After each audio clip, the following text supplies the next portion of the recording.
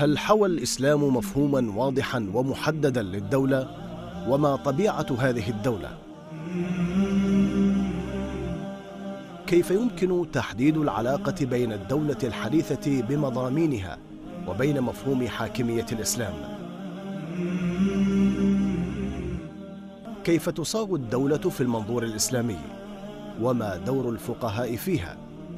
ومن الذي يفسر النصوص الشرعية ذات الصلة بنظام الحكم؟